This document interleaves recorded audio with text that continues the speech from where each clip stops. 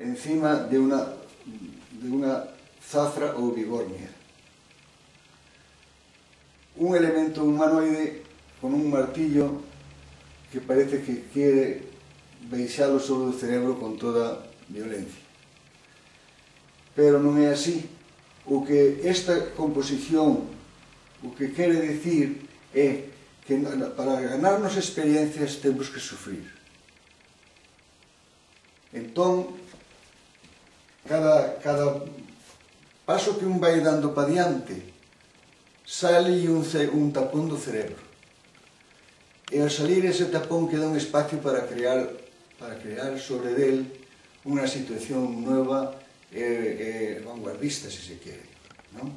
Mentras tanto, este de aquí saliron algúns tapós porque este, estaban xa congestionados e, e se van, van para este hueco que é unha, unha alacena, vanse botando aí. A medida que, volvo a repetir, que isto é importante do cadro, ainda que non se me entendeu así cando fixen, pero a medida, é de, de, a medida que vas medrando, vas teniendo circunstancias na vida. Primeiro naces, vas á escola, chegas a puberto, empezan outro tipo de, inquietud, de inquedanzas, pasas de Puberto a, a, a, entras na universidade é outro tipo de enqueranzas é outro tipo de relación con mulleres e con homes.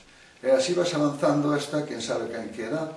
Bueno, pois pues eso eu, por exemplo o digo que mm, se unha persona se preocupa por irse destapando e dice, bueno, religión vamos a hablar de religión vamos, sin obstecarse, igual que en la guerra sin tomar esas, esas, esas posturas tan trágicas que parece casi mentira no siglo en que vivimos, pois este cae, o día que lle salga ese tapón a, a, os, os americanos, os españoles e os eh, de, de todos os franceses, bueno, todos os que están por Irak, por Irak e por aí, acabouse a guerra.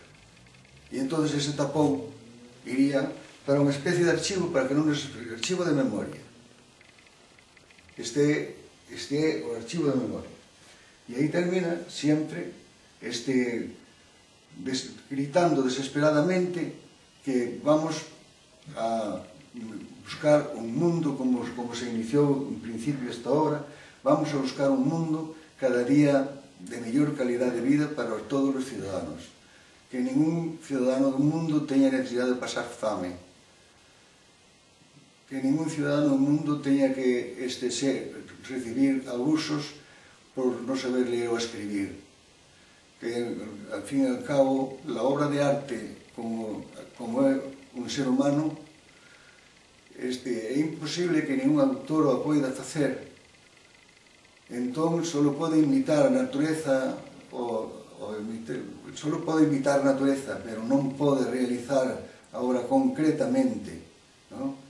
E iso debíamos devastar para que nos consideramos nos consideráramos máis humildes e, e máis eh, eh, máis reales, máis, máis iguales, máis igualdad entre nosotros. Máis humanos. Máis humanos.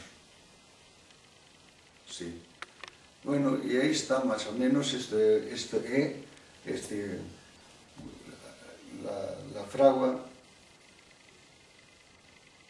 la, de la, deu, la deusa vulcano títulos así? Sí. Eh, é, é reciente? Eh, non. É... Eh. Este pode ter 20 e tantos anos.